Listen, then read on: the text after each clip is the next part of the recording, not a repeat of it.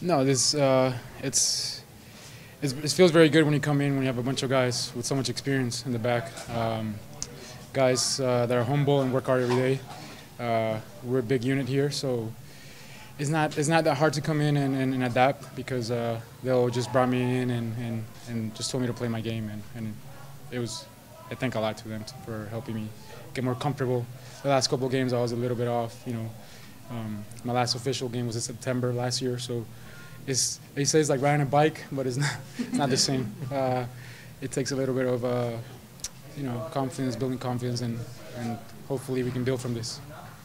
How pleased were you with McCarthy being there when you made that one-on-one? Oh, it uh, you know sometimes the bounces go your way, sometimes they don't. Uh, thankfully, in that play, you know the bounce went our way.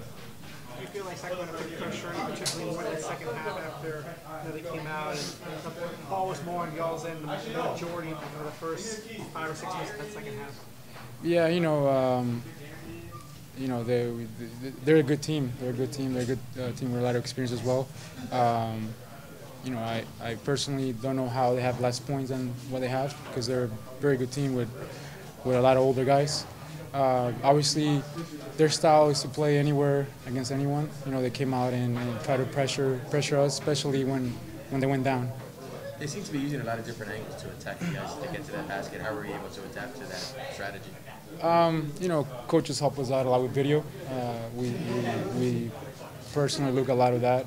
Uh, we spend a good 30, 40 minutes, you know, the day before the game watching their set plays, watching their style of plays, their individual habits. So it makes it easier in the modern game to, to really uh, pay attention to the small details because uh, it really helps out on the field. Were you frustrated about Barrera being left open early in the first?